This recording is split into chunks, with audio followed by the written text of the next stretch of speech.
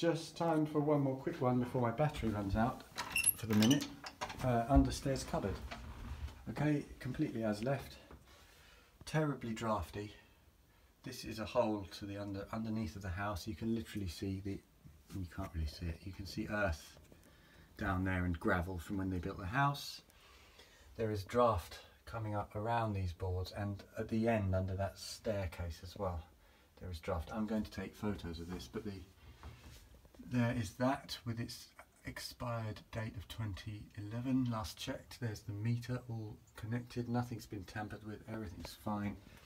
There is a leak fix I carried out in 2017 this system was dripping constantly down into that hole. There is a bit of piping left from whoever put this in.